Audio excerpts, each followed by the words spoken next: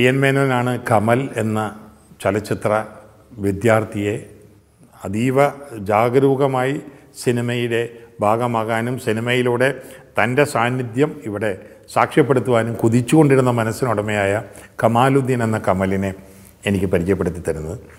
ഞാൻ തന്നെയാണ് കമലിനെ കൊണ്ടുപോയി സേതുമാധവന്റെയും ഭരതന്റെയും അടക്കമുള്ള പല സംവിധായകരുടെയും കൂടെ വ്യത്യസ്തമായ സംവിധാന ശൈലികൾ ഉൾച്ചേർക്കുന്നതിന് അനുകൂലമായ സാഹചര്യങ്ങളിലേക്ക് ആനയിക്കുന്നത്. കമൽ ഒരു സിനിമ സംവിധാനം ചെയ്യുവാൻ തീരുമാനിച്ചു. കമലിന്റെ കയ്യിൽ അതിനൊരു കഥാബീജമുണ്ടായിരുന്നു. അപ്പോൾ ഇന്ന് എന്റെ പ്രിയ സുഹൃത്തായ പി എസ് സനീഫ് അദ്ദേഹത്തിന്റെ വാപ്പയാണ് ആ ചിത്രം നിർമ്മിക്കുവാൻ മകന്റെ പേരിൽ നിർമ്മിക്കുവാൻ ഒരുപെട്ടത്. ഫോട്ടോച്ചിക്കടുത്തുള്ള അവരുടെ നിർമ്മാതാവിന്റെ വീട്ടിൽ പോയി അവിടെ വെച്ച് എനിക്ക് അഡ്വാൻസ് തന്നു. അപ്പോൾ അതിന് ഈ ആ പ്രൊഡ്യൂസർക്ക് സിനിമയുടെ ഒരുപാട് ആളുകളുമായിട്ട് പരിചയമുണ്ടെങ്കിലും അദ്ദേഹം പ്രേംനസീറിന്റെ ഏറ്റവും അടുത്ത ആത്മസുഹൃത്താണ്. അപ്പോൾ പ്രേംനസീറിന് ഇതിലൊരു വേഷം ചെയ്യാം. മധുവിനൊരു വേഷം ചെയ്യാം. പിന്നെ ഗോപിയുണ്ട് വേണുവുണ്ട് മമ്മൂട്ടിയോ മോഹൻലാലോ അങ്ങനെയെല്ലാം ഞങ്ങളിരുന്ന് ആലോചിക്കുകയും. അപ്പോൾ പറ്റിയൊരു വിതരണക്കാരനെ സംഘടിപ്പിച്ച് കൊടുക്കണം. അത് ഞാൻ സംസാരിക്കാമെന്ന് പറയുകയും. സെഞ്ചുറി ഫിലിംസുമായിട്ട് അന്ന് എനിക്ക് വളരെ അടുത്ത ഇടപഴകലുകളുണ്ട്. അവരോട് ഞാൻ ഈ കഥ പറഞ്ഞപ്പോൾ അവർക്ക് വളരെ താല്പര്യമാവുകയും അത് അതിന്റെ വിതരണം അവർ ഏറ്റെടുക്കാം. കമലിനെക്കുറിച്ച് അന്വേഷിച്ചപ്പോഴും വളരെ പോസിറ്റീവായിട്ടുള്ള അഭിപ്രായങ്ങളാണ് കേട്ടത്. അങ്ങനെ ആ സിനിമ നിർമ്മിക്കുവാൻ വിതരണത്തിനെടുക്കാൻ അവർ തയ്യാറാവുകയും ചെയ്തു. ഇതിനിടയിൽ ടി വാസ്തവൻ നിർമ്മിച്ച പ്രേംനസീർ അഭിനയിക്കുന്ന ഒരു ചിത്രത്തിന്റെ ചിത്രീകരണം ഇവരുടെ വീടിനടുത്തുള്ള ഏതോ ഒരു സാമ്പ്രദായ പാരമ്പര്യമുള്ള അല്ലെങ്കിൽ പഴയ രീതിയിലുള്ള ഒരു മുസ്ലിം ഭവനത്തിൽ വെച്ച് നടക്കുന്നുണ്ടായിരുന്നു. സ്വാഭാവികമായിട്ടും തന്റെ സുഹൃത്തിനെ കാണാൻ പ്രേംനസീർ ഈ വീട്ടിൽ വന്നു. അപ്പോൾ കമലിന്റെ നിർമ്മാതാവ് അനീഫയുടെ ബാപ്പ പ്രേംനസീറിനോട് പറഞ്ഞു. ഞാനൊരു പടം പ്ലാൻ ചെയ്യുന്നുണ്ട്. കമൽ എന്ന് പറഞ്ഞാൽ പി എൻ മേന്റെ കൂടെയൊക്കെ ഉണ്ടായിരുന്നൊരു അസിസ്റ്റന്റ് ആയിരുന്നൊരു പയ്യനാണ്. വളരെ ടാലന്റഡ് ആണ്. അദ്ദേഹമാണ് ആ പടം ചെയ്യുന്നത്. അക്ഷയ് നിങ്ങളതിൽ അഭിനയിക്കണം. നസീർ പറഞ്ഞു അതിനെന്താ വിരോധമില്ല. അതിപ്പോൾ അദ്ദേഹം അദ്ദേഹത്തിനാൽ ആകുന്ന വിധത്തിൽ ഈ മൂന്ന് കഥാപാത്രങ്ങളെക്കുറിച്ച് പറഞ്ഞു. അപ്പോൾ പ്രേംനസീർ അത് കേൾക്കുമ്പോൾ മൂന്ന് ക്യാരക്ടർ റോൾസിൽ ഒന്ന് മാത്രമാണ് തനിക്കുള്ളത്. ഒരുപക്ഷെ ആ കഥ പറയേണ്ട വിധത്തിൽ അദ്ദേഹത്തിന് പറയുവാൻ കഴിഞ്ഞോ അത് കേൾക്കേണ്ട വിധത്തിൽ പ്രേംനസീറിന് ഉൾച്ചേർക്കുവാൻ കഴിഞ്ഞോ എന്നറിഞ്ഞുകൂടാ. നസീർ സാറ് പറഞ്ഞു സേ നിങ്ങൾ ആദ്യമായിട്ടൊരു പടം എടുക്കുന്നു. മാത്രമല്ല നിങ്ങളുടെ പ്രൊഫഷണൽ തല you are a leading advocate അപ്പോൾ നിങ്ങൾ എന്തിനും ഇങ്ങനെയുള്ള റിസ്ക് എടുക്കണം? ഇതൊക്കെ പിന്നെ പി എൻ മേനന്റെ സഹായിയായിരുന്ന ഒരു പയ്യൻ എന്ന് പറയുമ്പോൾ സിനിമയുടെ വിപണി തലത്തിൽ നിന്നുകൊണ്ട് നോക്കുമ്പോൾ അപകടകരമായ ഒരു ബിരുദമാണത്. കാരണം പി എൻ മേനോൻ അങ്ങനെ ഒരു ഏതാനും ഒറ്റപ്പെട്ട ചില ചിത്രങ്ങൾ മാറ്റി നിർത്തിയാൽ കച്ചവട സിനിമയുടെ വക്താവല്ല കച്ചവട വിജയങ്ങളുടെ സമ്പാദകനുമല്ല. അപ്പോൾ പി എൻ മേന്റെ ശിഷ്യൻ എന്ന് പറയുമ്പോൾ പരീക്ഷണ സിനിമകളുടെ ഒരു സ്വഭാവവുമായിട്ടാണ് വരിക. അതും ഇത്തരത്തിലുള്ള ചിരപരിചിതമായ കഥാവൃത്തത്തിൽ പെടാത്തൊരു കഥ. അതുകൊണ്ട് അസ അങ്ങനെയുള്ള പരീക്ഷണങ്ങൾക്കൊന്നും പോകണ്ട. നമുക്ക് വേണമെങ്കിൽ ശശികുമാറിനെ വെച്ചിട്ട് പാപ്പനെ കൊണ്ടേ കൊണ്ട് മറ്റോ എഴുതിപ്പിച്ചിട്ട് ഒരു ഒരു നല്ലൊരു കൊമേഴ്ഷ്യൽ സിനിമ ചെയ്യാം. അപ്പോൾ ഇദ്ദേഹം അന്ന് രാത്രി ഉറങ്ങിയില്ലെന്നാണ്. പിറ്റേ ദിവസം അനീഫയെ വിളിച്ചിട്ട് അദ്ദേഹം പറഞ്ഞു മോനെ നമുക്ക് സിനിമയുടെ ഏർപ്പാട് വേണ്ട. വേറെ ഒന്നുമല്ല നസീർ എന്റെ ആത്മസുഹൃത്താണ്. പുള്ളി പറഞ്ഞതിനെ ധിക്കരിച്ചുകൊണ്ട് എനിക്ക് ഒരു സിനിമ എടുക്കാൻ പറ്റില്ല. അയാൾക്കൊരു താല്പര്യക്കുറവ് നമ്മൾ ആലോചിക്കുന്ന സിനിമയിലുണ്ട്. അയാളെ മാറ്റി അയാളെ ഒഴിവാക്കിക്കൊണ്ട് സിനിമ എടുക്കാനും ഞങ്ങൾ തമ്മിലുള്ള ബന്ധത്തിന്റെ പുറത്ത് എനിക്ക് കഴിയില്ല. പിന്നെ നമ്മളൊരു ചെറുപ്പക്കാരന് പ്രതീക്ഷ കൊടുത്തിട്ട് അയാളെ മാറ്റി ഇനി വേറൊരാൾ വെച്ചൊരു സംവിധാനം ചെയ്യിപ്പിക്കുക എന്ന് പറഞ്ഞാൽ അതും എന്റെ മനസാക്ഷിക്ക് നിരക്കുന്നില്ല. നമുക്ക് എനിക്കല്ലാതെ തന്നെ ഒരു തൊഴിലുണ്ട്. നീ മറ്റെന്തെങ്കിലും മാർഗത്തിലേക്ക് നിന്റെ ശ്രദ്ധ തിരിച്ചുവിടും. സിനിമ നമുക്ക് വേണ്ട. അങ്ങനെ ആ ചലച്ചിത്രത്തിന്റെ സാധ്യതകൾ ഇല്ലാതാവുകയും കമൽ നിരാശനായി പിൻവാങ്ങുകയുമാണ് ചെയ്തത്. ഏറെ നാളുകൾക്ക് ശേഷം എപ്പോഴോ എന്നോട് സെഞ്ചുറി ഫിലിംസുകാർ ചോദിച്ചപ്പോൾ ഹരിഹരനെ വെച്ചും വേണമെങ്കിൽ നമുക്ക് ആ സിനിമ ചെയ്യാം.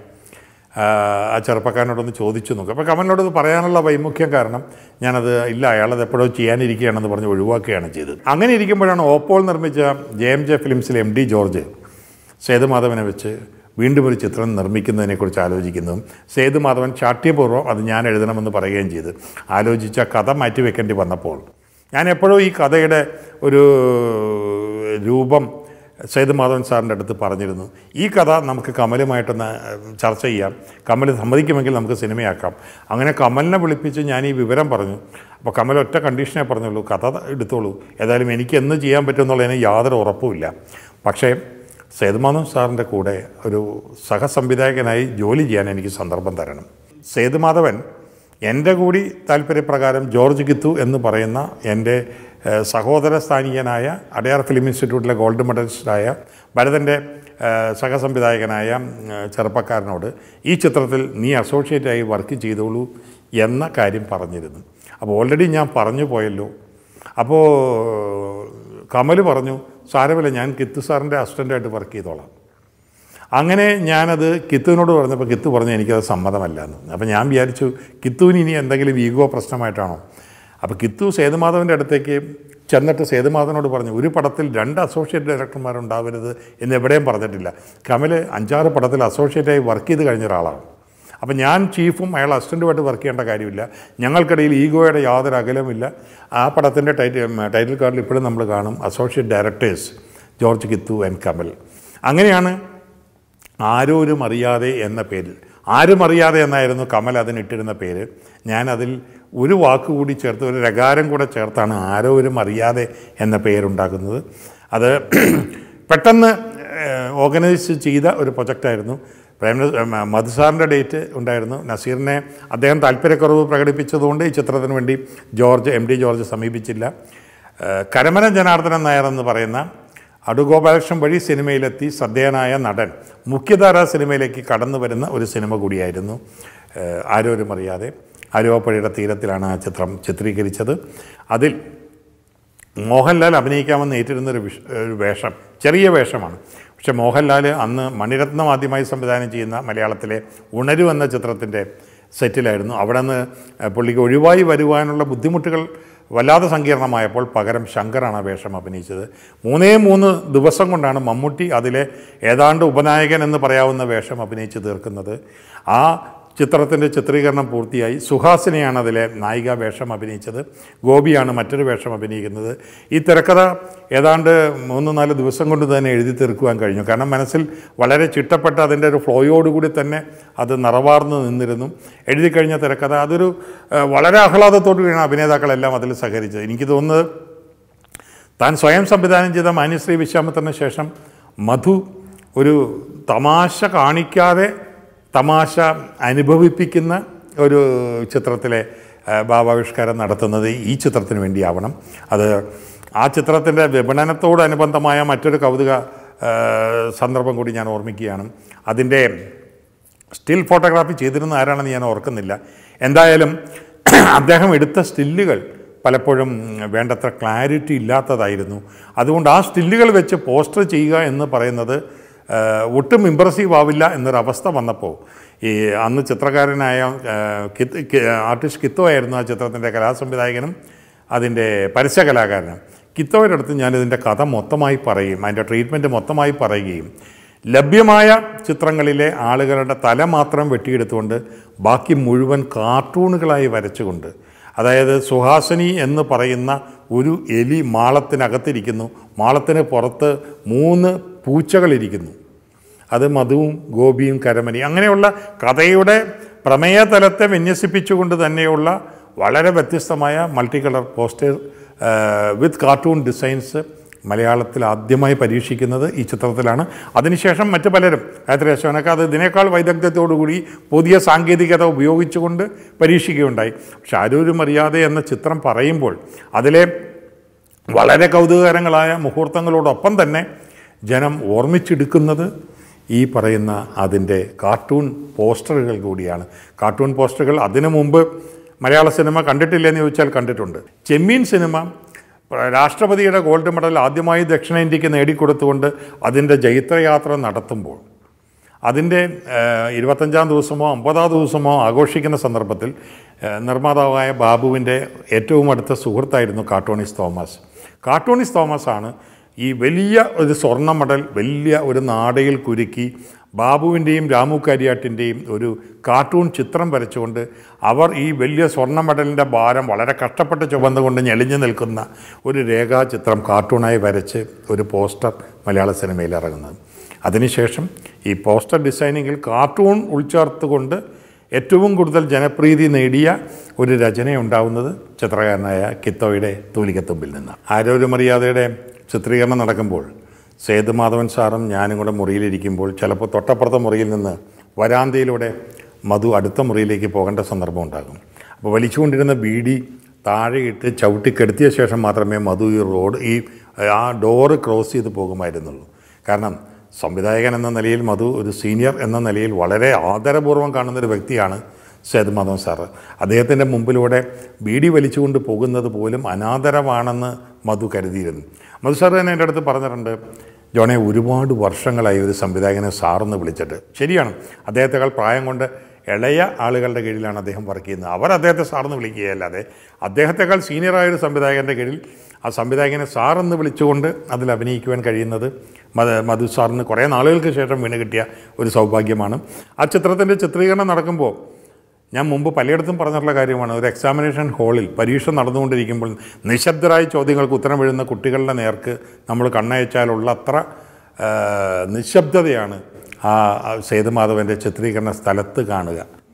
നിർമ്മാതാവ് പുകവലിച്ചുകൊണ്ട് തന്റെ സെറ്റിലേക്ക് സെറ്റിന്റെ ഓരത്ത് നിന്നപ്പോൾ നിർമ്മാതാവിനെ പറഞ്ഞിറക്കി വിടുകയും അവിടെ പുറകിൽ നിന്നുകൊണ്ട് ഉറക്കെ സംസാരിച്ച മറ്റൊരു നിർമ്മാതാവിന്റെ ദയവായി പുറത്തു പോകും ഞാൻ എന്റെ കർമ്മമാണ് ചെയ്യുന്നതെന്ന് പറയുകയും ചെയ്യുന്ന ഒരു ഡിസിപ്ലിന്റെ വക്താവ് കൂടിയായിരുന്നു സേതുമാധവൻ സാർ. ഈ ചിത്രത്തിന്റെ പ്രസ്താവ്യമായ വിജയത്തിന്റെ പേരിൽ ഒരുപാട് ഒരുപാട് ചലച്ചിത്രങ്ങൾ ചെയ്യുവാനുള്ള ഓഫറുകൾ അദ്ദേഹത്തെ തേടി വന്നു. പക്ഷേ വളരെ കൃത്യതയോടുകൂടി തന്നെ അദ്ദേഹം എടുത്തുചാട്ടത്തിന് തയ്യാറാവാതെ ഒരു കാലഘട്ടത്തിൽ മലയാളത്തിൽ ഏറ്റവും കൂടുതൽ കുടുംബ ചിത്രങ്ങൾ സംവിധാനം ചെയ്യുകയും സേതുമാധവന്റെ ചിത്രങ്ങൾ തുടർച്ചയായി വന്നുകൊണ്ടിരിക്കുമ്പോൾ ആ ചിത്രങ്ങൾക്ക് വേണ്ടി ഇവിടുത്തെ പ്രേക്ഷകർ കാത്തിരിക്കുകയും ചെയ്തിരുന്നൊരു കാലഘട്ടമുണ്ടായിരുന്നു. ആ കാലഘട്ടം ആവർത്തിക്കാനുള്ള വാദികൾ തുറന്നു കിട്ടിയപ്പോൾ യാതൊരു ആർത്തിയും കാണിക്കാതെ യാതൊരു തിടുക്കവും കാണിക്കാതെ അതിൽ നിന്ന് സംയമനത്തോടെ മാറി നിൽക്കുകയും സെൻട്രൽ പിക്ചേഴ്സുമായിട്ടുള്ള അദ്ദേഹത്തിന്റെ വളരെ അടുത്ത അഭേദ്യമായ ഹൃദയബന്ധത്തിന്റെ കൂടി പരിവർത്തനത്തിൽ നിന്നുകൊണ്ട് സെഞ്ചുറി പിക്ചേഴ്സ് അദ്ദേഹത്തോട് ചിത്രം ചെയ്യാൻ ആവശ്യപ്പെടുകയും അതിനുവേണ്ടി ഒരു കഥ ഒരുങ്ങി വന്നപ്പോൾ ആ കഥയ്ക്ക് അതിനു മുമ്പ് തന്നെ ആ കഥാബീജം സിനിമയാക്കപ്പെട്ടിരുന്നു എന്ന് തിരിച്ചറിഞ്ഞപ്പോൾ ആ ആർട്ടിസ്റ്റുകളെ വെച്ചുകൊണ്ട് പെട്ടെന്നൊരു കഥ ഉണ്ടാക്കേണ്ടതായ സാഹചര്യം വരികയും അങ്ങനെ സി എൽ ജോസിന്റെ ശാപരശ്മി എന്ന നാടകമാണെന്നാണ് എന്റെ ഓർമ്മ. അങ്ങനെ ഒരു കഥ പെട്ടെന്ന് കണ്ടെത്തിയപ്പോൾ ഈ കഥാപാത്രങ്ങൾക്ക് ഇണങ്ങുന്ന കഥാപാത്രങ്ങൾ നില ഈ നമ്മൾ നേരത്തെ നിശ്ചയിച്ചു വെച്ചിരുന്ന അഭിനേതാക്കൾക്ക് ഇണങ്ങുന്ന കഥാപാത്രങ്ങൾ ഇതിലുള്ളത് കൊണ്ട് ആ നാടകത്തിന്റെ റൈറ്റ്സ് വാങ്ങുകയും ആ തെടുക്കപ്പെട്ടൊരു തിരക്കഥ എഴുതേണ്ട സാഹചര്യമുണ്ടായി. അങ്ങനെ ഒരു തിരക്കഥ എഴുതുകയും ആരോരും അറിയാതെയിലൂടെ ഒരു എഴുത്തുകാരൻ എന്ന നിലയിൽ ഞാൻ നേടിയ എല്ലാ അംഗീകാരത്തിനും മങ്ങലേൽപ്പിക്കുന്ന ഒരു മോശം രചന എന്റെ ഭാഗത്തുനിന്ന് ഉണ്ടാവുകയും ആ മോശം രചനയുടെ മുമ്പിൽ അദ്ദേഹം നിസ്സഹായനാവുകയും. അറിയാത്ത വീതികളെന്ന് പറയുന്നൊരു സിനിമ നിർമ്മാതാക്കൾക്ക് വൻ നഷ്ടമുണ്ടാക്കി. അതിൽ അഭിനയിച്ച ആർക്കും തന്നെ ആഹ്ലാദകരമായ ഒരു അനുഭവം അതിൽ നിന്നുണ്ടായില്ല. ദുർബലമായൊരു തിരക്കഥയുടെ എല്ലാ മുറിപ്പാടുകളും ആ ചിത്രത്തെ നോവിച്ചിരുന്നു ആ ചിത്രത്തെ വികലമാക്കിയിരുന്നു. സേതുമാധവൻ സാറ് പോലുള്ള കൃതഹസ്തനായ ഒരു സംവിധായകന് വേണ്ടി എഴുതാനിരിക്കുമ്പോൾ അത്തരത്തിലുള്ള ഒരലക്ഷ്യം എന്റെ ഭാഗത്തുനിന്ന് അതിനുള്ള ന്യായകാരണങ്ങൾ എന്തു തന്നെയായിരുന്നാലും ഉണ്ടാവരുതായിരുന്നു. പക്ഷെ ഉണ്ടായി എന്നുള്ളത് സിനിമാ ജീവിതത്തിലെ പല പിഴവുകളിൽ ഒന്ന് തന്നെയാണ്. ഒരുപാട് ഇടർച്ചകളിലൂടെയും പിഴവുകളിലൂടെയും തന്നെ തന്നെയാണ് ഞാൻ മുന്നോട്ട് പോയിട്ടുള്ളത്. അതിൽ ഏറ്റുപറയേണ്ട പിഴവുകളിൽ മുഖ്യസ്ഥാനത്ത് കാണുന്ന ഒന്നാണ് അറിയാത്ത വീതികൾ എപ്പോഴോ ഞാൻ ആരോടോ പറഞ്ഞ കൂട്ടത്തിൽ ഭരതനോടാണോ മോഹനോടാണോ അതോ സേതുവേട്ടനോട് തന്നെയാണോ എന്നറിയില്ല.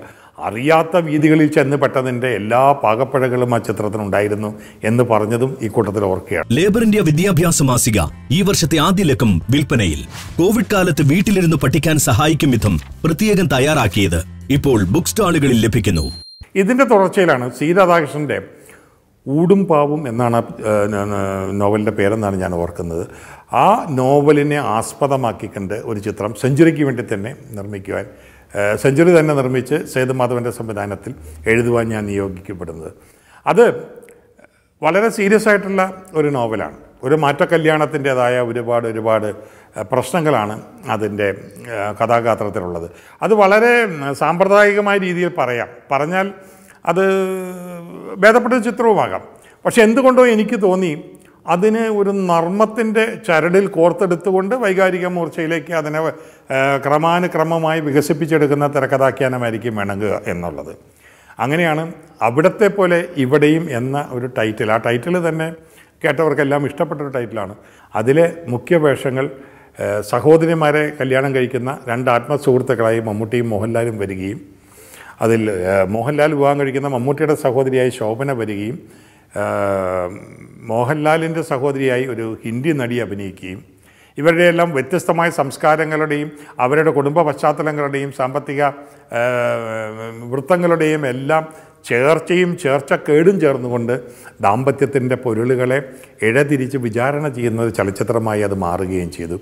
അത് വളരെ ശ്രദ്ധിക്കപ്പെട്ട ചലച്ചിത്രമായിരുന്നു വിജയിച്ച ചലച്ചിത്രമായിരുന്നു.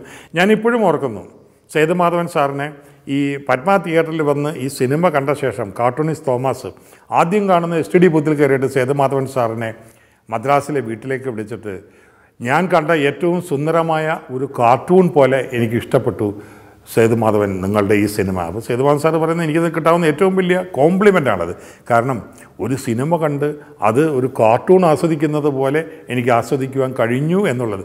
അടൂർ ഭാവനയുടെയൊക്കെ വളരെ സ്റ്റെർലിംഗ് പെർഫോമൻസ് എന്ന് പറയാവുന്ന പെർഫോമൻസ് ആ ചിത്രത്തിലുണ്ട്.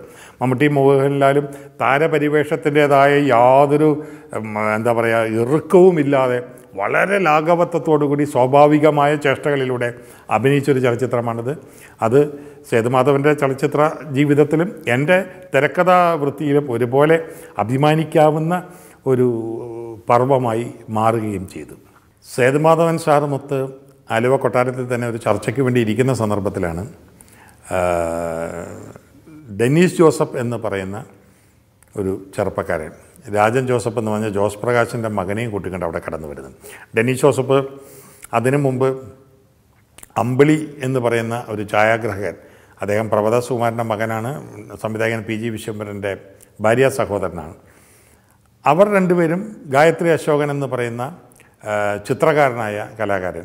ഇവർ മൂന്ന് പേരും കൂടെ ചേർന്നായിരുന്നു അന്ന് ഞങ്ങളുടെ തലമുറയ്ക്ക് തൊട്ട് പുറകെയുള്ള തലമുറയിലെ ചലച്ചിത്രവുമായി ഏറ്റവും അടുത്ത ബന്ധം പുലർത്തുവാൻ വേണ്ടി ഔത്സുക്യത്തോടെ പ്രവർത്തിച്ചിരുന്നവർ. ആ കൂട്ടത്തിൽ ഈ ഗായത്രി അശോകൻ അതോ ആ കാലഘട്ടത്തോടെ സിനിമയിൽ ശ്രദ്ധിക്കപ്പെടുന്ന ഒരു പരസ്യ കലാകാരനായി മാറുകയും പിന്നീട് ഒരു കാലഘട്ടം മുഴുവൻ മലയാള സിനിമയുടെ പരസ്യകല ഗായത്രിയുടെ ഗായത്രി എന്ന് പറയുന്ന ആ അക്ഷര ചാർത്തിന്റെ കയ്യൊപ്പിന്റെ കീഴിൽ എന്താണ് പറയുക അലങ്കാരം ഏറ്റുവാങ്ങിക്കൊണ്ട് നിന്ന ഒരു ഒരു പർവം പോലും ഉണ്ടായി ഇവിടെ. ആ കൂട്ടത്തിൽ നിന്നാണ് ജാജൻ ജോസഫിന്റെ മകൻ ഡെന്നീസ് ജോസഫ് എന്ന് പറയുന്ന അദ്ദേഹം കാർട്ടൂണി യേശുദാസനും ഈരാളിയും ഒക്കെ പ്രസ്തപ്പെടുത്തിയിരുന്ന ചില കാർട്ടൂൺ ചലച്ചിത്ര മാസികകളുടെ സഹപത്രാധിപരായി ജോലി ചെയ്തിരുന്നു. ഈ ഡെന്നീസ് ജോസഫ് ആ നിലയിലൊക്കെ ഞങ്ങൾ അടുത്ത സുഹൃത്തുക്കളാണ്. അവർ കടന്നു വരികയും അവർ ഞാനുമായി സംസാരിക്കുന്നതിനിടയിൽ ഞാൻ ബാങ്കിലെ ജോലി രാജിവെച്ച വിവരം സേതുമാധവൻ അറിയുകയും ചെയ്തത് കാരണം ഞാനിത് വളരെ പരസ്യമാക്കിയിരുന്നില്ല ബാങ്കിൽ നിന്ന് രാജിവെച്ചു എന്നുള്ള കാര്യം. അതിന്റെ പേരിൽ സേതുമാധവൻ എന്നെ ഒരുപാട് ശകാരിക്കുകയും ഉണ്ടായി. ഇത് കഴിഞ്ഞ് ഞാൻ ഇറങ്ങി അപ്പുറത്തേക്ക് പോയി കഴിഞ്ഞപ്പോഴാണ് ഇവർ വന്നത് എന്തിനാണെന്ന് ആ ദൗത്യം അവർ സേതുമാധവനോട് പറയുന്നു. രാജൻ ജോസഫ് ഒരു സിനിമ നിർമ്മിക്കുവാൻ തീരുമാനിച്ചു. അതിന് പറ്റിയ ഒരു കഥ ഡെന്നീസ് ജോസഫിന്റെ കയ്യിലുണ്ട്. ആ കഥ സിനിമയാക്കുമ്പോൾ അത് സംവിധാനം ചെയ്യുന്നത് ആരെന്ന് തീരുമാനിക്കുന്നതിന് വേണ്ടി രാജൻ ജോസഫിന് വളരെ വിശ്വാസമുള്ള അന്ന് സിനിമയിൽ കടന്നു വന്ന ആധിപത്യം സ്ഥാപിക്കുവാൻ തുടങ്ങിക്കഴിഞ്ഞിരുന്ന കോരസാർ എന്ന പേരിൽ വളരെ പ്രസിദ്ധനായ ഒരു കൊച്ചിൻ പോർട്രസിലെ റിട്ടയേർഡ് എഞ്ചിനീയർ കൂടിയായ സി കോര ചീട്ട് നിരത്തി നോക്കുമ്പോൾ അത് സേതുമാധവൻ സംവിധാനം ചെയ്യുന്നതാണ് ഏറ്റവും ഉത്തമം എന്ന് കണ്ടറിയുകയും അങ്ങനെ സേതുമാധവനെ അതിന്റെ സംവിധാന ചുമതല ഏൽപ്പിക്കുന്നതിന് വേണ്ടി അവർ കടന്നു വരികയുമാണ് ചെയ്തത്. സേതുമാധവൻ അതിനകം സെഞ്ചുറി ഫിലിംസിന്റെ ചിത്രങ്ങൾക്ക് വേണ്ടി കരാർ ചെയ്യപ്പെട്ട് കഴിഞ്ഞിരുന്നു. ഇവർക്ക് ചിത്രീകരണം നടത്തണമെന്ന് ഇവർ ആവശ്യപ്പെടുന്ന മമ്മൂട്ടിയുടെ കോൾ ഷീറ്റ് ലഭ്യമായ ദിവസങ്ങൾ സേതുമാധവൻ ഫ്രീ അല്ലാതിരുന്നത് കൊണ്ട് സേതുമാധവൻ അത് ഒഴിയുകയും പിന്നെ ആരെന്ന് വീണ്ടും കോരസാറിന്റെ അടുത്ത് എന്ന് ഇവർ ചീട്ടിട്ട് നോക്കുകയും ചെയ്തപ്പോൾ അടുത്തതായി പേര് തെളിഞ്ഞത് ജെ സിയുടെ പേരാണ്. അവിടെ ഈ ജെ സി എന്ന് പറയുന്ന ഒരു ചലച്ചിത്രകാരനോട് ഉള്ളിൽ ഒരുപാട് നീരസവും പുച്ഛവും പുലർത്തിയിരുന്ന ഒരു ഗ്രൂപ്പാണ് എറണാകുളത്ത് വളരെ സജീവമായിട്ടുണ്ടായിരുന്നു. അങ്ങനെ അവരെ അവിടെയും ജെ സിയുടെ അടുത്തും ഒരുപോലെ പ്രവേശന സ്വാതന്ത്ര്യമുള്ള ആളുകൾ. അവർ ജെ സിയെക്കുറിച്ച് പറഞ്ഞ ഒരു വാചകം ഞാനും ജെ സിയും തമ്മിലുള്ള സൗഹൃദത്തിൽ ഇടർച്ചകൾ ഉണ്ടാക്കിയത് എങ്ങനെയോ അതേവിധം തന്നെ. ജെ സിയെക്കുറിച്ച് പറഞ്ഞ എന്തെങ്കിലും ഒരു വാചകം അതിനെ പരമാവധി നെഗറ്റീവ് ആക്കിക്കൊണ്ട് ജെ സിയുടെ അടുത്ത് എന്ന് പറയുകയും അതിനോടുള്ള ജെ സിയുടെ ക്ഷിപ്രകോപത്തിന്റെ ഒരു പ്രത്യക്ഷമായിട്ടുള്ള എന്തെങ്കിലും നെഗറ്റീവ് കമന്റ് അത് അതിശയവൽക്കരിച്ചുകൊണ്ട് ഇപ്പുറത്ത് വന്ന് പറയുകയും അങ്ങനെ ഇവർ പരസ്പരം അറിയാതെ തന്നെ അവർക്കിടയിൽ വലിയ ഒരു അകലമുണ്ടാവുകയും ചെയ്തു കഴിയുമ്പോഴാണ് ജെ സിയെ കൊണ്ട് ഈ ചിത്രം സംവിധാനം ചെയ്യിപ്പിക്കണം. അപ്പോൾ കോരച്ചാട്ട് കോരസാറിന്റെ ചീട്ട് പറയുന്നതിനപ്പുറത്തേക്ക് നിർമ്മാതാവ് നിൽക്കില്ല. പക്ഷേ ഡെന്നി ജോസഫ് വന്ന് ഏറ്റുവാങ്ങുന്ന ഏറ്റവും വലിയ ക്രൂരമായ മാനസികമായ പീഡനം എന്ന് പറയുന്നത് ആരുമായി സഹകരിക്കാൻ തനിക്ക് താല്പര്യമില്ലയോ? ആ മനുഷ്യനുമായി ബന്ധപ്പെട്ടുകൊണ്ട് തിരക്കഥ ഡെന്നി ജോസഫ് തന്നെയാണ് അതിന് തിരക്കഥ എഴുതാൻ ഉദ്ദേശിച്ചിരുന്നത്. ജെ സിയുമായി ബന്ധപ്പെട്ട് അത് ചെയ്യേണ്ടി വരിക എന്ന് പറയുന്ന അങ്ങനെ ഒരു ധർമ്മസങ്കടത്തിലായിരുന്നു ഡെന്നീസ് ജോസഫ്. അങ്ങനെ ജെ സിയുമായി ബന്ധപ്പെടുമ്പോൾ ജെ സിയുടെ മനസ്സിലും അകാരണമായി തന്നെ ഡെന്നി ജോസഫിനോട് ആവശ്യമില്ലാത്ത ഒരു പുച്ഛമുണ്ടായിരുന്നു. അതുകൊണ്ട് ഡെന്നി ജോസഫ് എഴുതിയാൽ ശരിയാവില്ല എന്ന മുൻ തീരുമാന ഒരു മുൻ ധാരണയോടുകൂടിയാണ് ജെ സി അതിനെ സമീപിക്കുന്നത്. അങ്ങനെ അവർക്കിടയിൽ ഒരു തിരക്കഥ ഉണ്ടാവുകയും സ്വാഭാവികമായും രണ്ടുപേരുടെയും മനസ്സിലെ അകാരണങ്ങളായ ഇടർച്ചകളുടെ പേരിൽ ആ തിരക്കഥയിൽ ഏതാനും പാകപ്പിഴകൾ ഉണ്ടാവുകയും ചെയ്യുമ്പോഴാണ് കോരസാറിന്റെ കൂടി നിർദ്ദേശപ്രകാരമാവണം. ബാലമഹേന്ദ്രയുടെയും മറ്റ് ഭരതന്റെയും മോഹന്റെയും എല്ലാം ചിത്രങ്ങളുടെ തിരക്കിനിടയിൽ നിൽക്കുന്ന എന്നെ ജെ സി ഫോൺ മുഖേന ബന്ധപ്പെട്ടിട്ട് പറയുന്നു. സെൻട്രൽ പിക്ചേഴ്സാണ് വിതരണത്തിനെടുക്കുന്നത്. അവർക്ക് വളരെ നിർബന്ധമുണ്ട് തിരക്കഥ ജോൺ മാറ്റി എഴുതണമെന്നുള്ളത്. അപ്പം ഞാൻ പറഞ്ഞു ഡെന്നീസ് ജോസഫ് എനിക്ക് പ്രിയപ്പെട്ട ഒരു സുഹൃത്താണ്. അയാൾ കടന്നു വരുന്ന ഒരു എഴുത്തുകാരനാണ്. അയാൾ എഴുതിയത് ഞാൻ മാറ്റി എഴുതുക എന്ന് പറയുന്നത് ശരിയല്ല. അല്ല ജോണേ ആറേഴ് വർഷങ്ങൾക്ക് ശേഷം എനിക്കൊരു ചിത്രം സംവിധാനം ചെയ്യുവാൻ അവസരം കിട്ടുകയാണ്. ജോൺ ഇതിൽ സഹകരിച്ചില്ലെങ്കിൽ ഈ ചിത്രം എനിക്ക് നഷ്ടപ്പെട്ടു പോകും. ഞാൻ പറഞ്ഞു ഞാൻ വരാം. വന്ന ശേഷം നമുക്ക് സംസാരിക്കാം. ഒന്ന് രണ്ട് ദിവസങ്ങൾക്ക് ശേഷം ഞാൻ മദ്രാസിയിൽ നിന്ന് എറണാകുളത്തെത്തി. ഉച്ച കഴിഞ്ഞ് ഞാൻ ജെ സിയുമായിട്ടും ഡെനിസ് ജോസഫുമായിട്ടും രാജൻ ജോസഫുമായിട്ടും ഇരുന്നു. അങ്ങനെ ജെ സിക്ക് ആരോപിക്കുന്ന വിധത്തിലുള്ള പാകപ്പഴകളൊന്നും ആ തിരക്കഥയിലുണ്ടായിരുന്നില്ല എന്നാൽ അത് പൂർണമായും ശരിയുമായിരുന്നില്ല. ആദ്യമായി തിരക്കഥ എഴുതുമ്പോൾ പ്രത്യേകിച്ചും വിദേശ ചിത്രങ്ങളുടെ ഒരു സ്വാധീന ലഹരിയിൽ നിന്നുകൊണ്ട് മലയാളത്തിൽ ഒരു ചിത്രത്തിന് തിരക്കഥ എഴുതുവാൻ ശ്രമിക്കുമ്പോൾ ഈ വിശദാംശങ്ങളോടുകൂടി അതിന്റെ ദൃശ്യഭാഗങ്ങളെ പൊലിപ്പിച്ച് പറയുക എന്ന് പറയുന്ന ഒരു പ്രവണത സ്വാഭാവികമാണ്. പ്രത്യേകിച്ചും തിരക്കഥയുടെ രീതിവൃത്തങ്ങളിൽ വേണ്ടത്ര അനുശീലം വന്നെത്തുന്നതിന് മുമ്പ്. അത് സ്വാഭാവികമായും ഇതിന് ദൃശ്യാവിഷ്കാരം നടത്തേണ്ട സംവിധായകനെ ചൊടിപ്പിക്കും. എം ടിയുടെ ആദ്യ തിരക്കഥയിൽ ഈ ഇതേ സംഭവം ഉണ്ടായിരുന്നതായി വിൻസെന്റ് മാസ്റ്റർ എന്നോട് പറഞ്ഞിട്ടുണ്ട്. വിൻസെന്റ് മാസ്റ്റർ പലപ്പോഴും അതിന്റെ ഇടതുവശത്ത് എഴുതിയിരിക്കുന്നത് അത് എന്റെ ഡിപ്പാർട്ട്മെന്റാണ് കഥ പറയുന്നതിന് ആവശ്യമായത് മാത്രം നിങ്ങൾ എഴുതൂ എന്ന് പറഞ്ഞ് എം ടിയുടെ തിരക്കഥ രീതിയെ സ്വാധീനിച്ചിട്ടുള്ള കാര്യവും വിൻസെന്റ് മാസ്റ്റർ പറഞ്ഞറിയാം. എം ടിയും അത് സംബന്ധിച്ചിട്ടുള്ളതാണ് അത് ഏത് തിരക്കഥാകൃത്ത് സിനിമയെക്കുറിച്ചുള്ള വേണ്ടത്ര പഠനവും ഉൾഗ്രാഹ്യവും ഇല്ലാതെ തിരക്കഥ എഴുതുവാൻ തുടങ്ങുമ്പോഴും സംഭവിക്കാവുന്ന ചില പ്രമാദങ്ങളാണ് ഇതൊക്കെ. പിന്നെ ഈ സംവിധായകൻ പറയുന്നത് ഒന്നും ശരിയല്ല എന്ന മുൻധാരണ ആ ബയസ് ഡെന്നിസ് ജോസഫിന്റെ മനസ്സിലും മറിച്ച് ഡെന്നിസ് ജോസഫിനെതിരായ ബയസ് ജെ സിയുടെ മനസ്സിലും നിറഞ്ഞു നിൽക്കുമ്പോഴാണ് ഇവർക്ക് ഒരുമിക്കേണ്ടി വന്നത്. അപ്പോൾ ഞാൻ പറഞ്ഞു എനിക്ക് ഇതിവിടെ ഇരുന്നുകൊണ്ട് ചെയ്യാൻ പറ്റില്ല. ഞാൻ വല്ലാത്ത ധർമ്മസങ്കടത്തിലാണ്. പക്ഷേ ജെ സിക്ക് വേണ്ടി ഇത് ചെയ്യാതിരിക്കാനും വയ്യ. ഒടുവിൽ ഞാൻ മദ്രാസിയിൽ പോയി എന്റെ രാത്രികളിലെ സമയം മാത്രം ഉപയോഗിച്ചുകൊണ്ട് ഇതിലെ രംഗങ്ങൾ മാറ്റി എഴുതാം. അങ്ങനെ ഒരാഴ്ചയോ രണ്ടാഴ്ചയ്ക്കോ ഉള്ളിൽ ഞാനത് തീർത്ത് തരാം. കാരണം പതിനെട്ട് ദിവസം കഴിഞ്ഞാൽ ഷൂട്ടിംഗ് തുടങ്ങണം. അത് മമ്മൂട്ടിയും ശോഭനയും റഹ്മാനും അടൂർ ബാസിയും ബഹദൂറും ഒക്കെ ജോസ് പ്രകാശും ഒക്കെ അഭിനയിച്ചൊരു സിനിമയായിരുന്നു. അവിടെ നിന്ന് തിരിച്ചു പോന്നു കഴിയുമ്പോൾ പോരുന്നതിന് മുമ്പ് ജെ സിയോട് ഞാനൊരു കാര്യം പറഞ്ഞിരുന്നു. സെൻട്രൽ പിക്ചേഴ്സുകാർ വിപണി ലക്ഷ്യമാക്കുന്നവരാണ്. അവർക്ക് ഞാൻ എഴുതണമെന്ന് പറഞ്ഞത് അന്ന് എനിക്ക് നിലവിലുള്ള തിരക്കഥാകൃത്തെന്ന ലാവണത്തിലുള്ള താരമൂല്യത്തിന്റെ പേരിലാണ്. ജെ സിയെ സഹായിക്കാൻ വേണ്ടി ഞാൻ അതിൽ സഹകരിക്കുന്നു. പക്ഷേ ഈ ഇപ്പം നിങ്ങൾ ചിത്രീകരിച്ചുകൊണ്ടിരിക്കുന്ന തിരക്കഥയുടെ എഴുപത്തിയഞ്ച് ശതമാനമെങ്കിലും ഡെന്നി ജോസഫിന്റേത് മാത്രമാണ്. അതിനെ ചേരുംപടി ഒന്ന് ചേർക്കുകയും ഒന്ന് പുനഃക്രമീകരിക്കുകയും പോരാത്തത് ഒരു കാൽ ശതമാനം ഒരു കാൽ ഭാഗം മാത്രം ഉൾച്ചേർക്കുകയുമാണ് ഞാൻ ചെയ്തിട്ടുള്ളത്. അതുകൊണ്ട് നിർബന്ധമായും ഇതിന്റെ ഒരു സിംഗിൾ കോളം പരസ്യം വരുന്നുണ്ടെങ്കിൽ എഴുത്തുകാരന്റെ പേര് കാണിക്കുന്നുവെങ്കിൽ ഡെന്നീസ് ജോസഫിന്റെ പേര് കാണിച്ചിരിക്കണം എന്റെ പേര് കാണിക്കുന്നുവെങ്കിൽ. ഇല്ലെങ്കിൽ നിങ്ങൾക്ക് ജെയ്സിയുടെ മാത്രം പേര് വെച്ച് ചിത്രം ഇറക്കാം എന്റെ പേര് വെക്കുന്നുവെങ്കിൽ അതിന് മുമ്പായി ഡെന്നി ജോസഫിന്റെ പേര് വെച്ചിരിക്കണം. കാരണം എനിക്ക് മനസ്സിലാക്കാൻ കഴിയുമായിരുന്നു ഡെന്നി ജോസഫിന്റെ പേര് വെച്ചില്ലെങ്കിൽ ഡെന്നി ജോസഫിന് ഉണ്ടാകുമായിരുന്ന മാനസികമായ നൊമ്പരം. കാരണം ഞാൻ എഴുതിയ ഒരു ചിത്രത്തിൽ നിന്ന് എന്റെ പേര് അതുപോലെ ഒഴിവാക്കപ്പെട്ടാൽ എനിക്കെന്താകും ഉണ്ടാകുന്ന ഫീലിംഗ് എന്നുള്ളത് ഞാൻ ഓർക്കേണ്ടിയിരുന്നു. ഞാൻ ഓർത്തു. അങ്ങനെ ആ ചിത്രം പുറത്തിറങ്ങി. ഈറൻ സന്ധ്യ എന്നായിരുന്നു ആ ചിത്രത്തിന്റെ പേര്. ആ ചിത്രം വൻ വിജയമായി ഡെനീസ് ജോസഫ് തുടർന്ന് എഴുതിയത് നിറക്കൂട്ട് എന്ന് പറയുന്ന ജോഷിയുടെ ഒരു ചിത്രമാണ്. തുടർന്ന് ഒരു കാലഘട്ടം മുഴുവൻ ഡെന്നീസ് ജോസഫിന്റെ ന്യൂഡൽഹി അടക്കമുള്ള ഒരുപാട് ഒരുപാട് സംഭവബഹുലമായ ബഹുലമായ വിജയാഹ്ലാദങ്ങളുടെ ഘോഷയാത്ര തന്നെ മലയാള സിനിമയിൽ നിവർത്തിച്ച ഇപ്പോഴും മനസ്സൊരുക്കത്തോടെ ജാഗരൂകമായി തൂലിക കയ്യിലെടുത്താൽ ഇനിയും കാമ്പുള്ള ചലച്ചിത്രങ്ങൾക്ക് വേണ്ടി രചന നിർവഹിക്കുവാൻ ഡെന്നീസ് ജോസഫിന് കഴിയുമെന്ന് തന്നെയാണ് ഞങ്ങൾക്കിടയിലുള്ള ഇടപഴകലിൽ നിന്നും വേഴ്ചയിൽ നിന്നും അദ്ദേഹത്തെക്കുറിച്ചുള്ള എന്റെ വിലയിരുത്തൽ എനിക്ക് പ്രത്യാശയായി ബാക്കി നിർത്തുന്നത്.